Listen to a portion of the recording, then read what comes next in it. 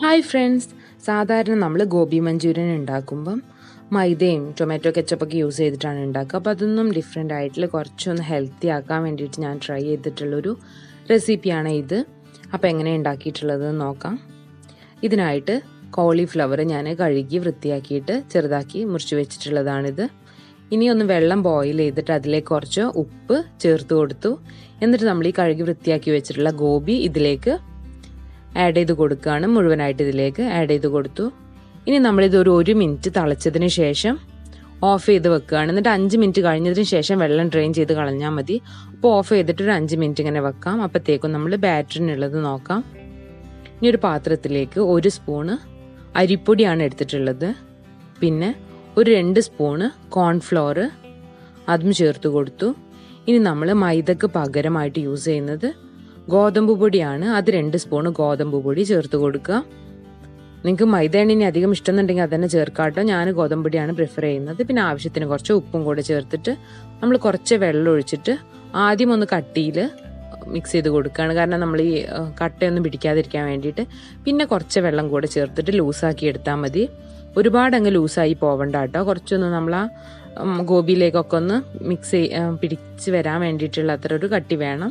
അപ്പം പിന്നെ നമ്മൾ വെള്ള ഡ്രെയിൻ വെള്ളമൊക്കെ ഡ്രെയിൻ ചെയ്ത് വെച്ചിട്ടുള്ള ഗോപി ഇതിലേക്ക് ചേർത്ത് കൊടുക്കുക.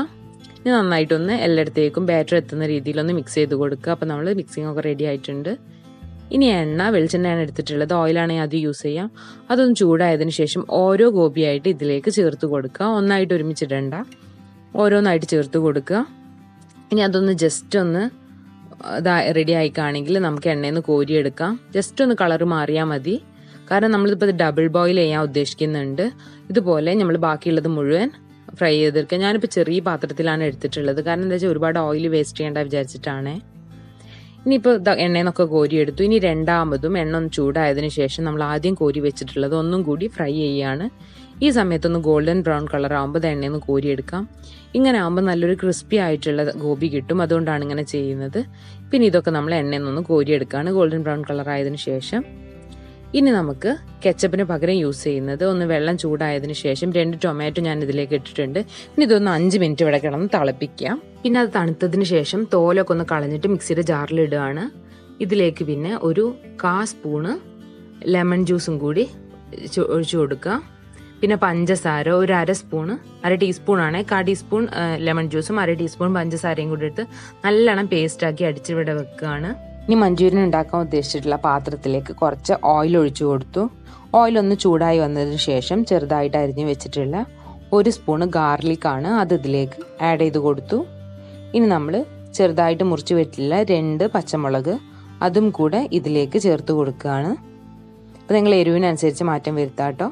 ഒരു ചെറിയ സവാള ചെറുതായിട്ട് മുറിച്ചിട്ടുള്ളതും കൂടി ഇതിലേക്ക് ചേർത്ത് കൊടുക്കുക. പിന്നെ സവാളയും കൂടെ ഒന്ന് നമ്മൾ വഴറ്റിയെടുക്കുകയാണ്.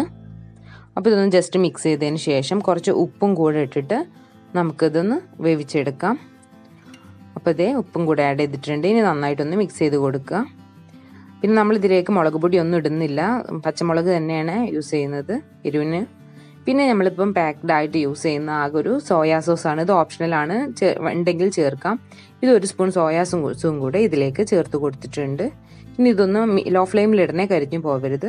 പിന്നെ നമ്മൾ നേരത്തെ റെഡിയാക്കി വെച്ചിട്ടുള്ള ടൊമാറ്റോ പ്യൂരിയും കൂടെ ഇതിലേക്ക് ഒഴിച്ചു കൊടുക്കുക. എന്നിട്ട് നന്നായിട്ടൊന്ന് മിക്സ് ചെയ്യുക നന്നായിട്ടൊന്ന് മിക്സ് ചെയ്ത് കൊടുക്കുകയാണ്.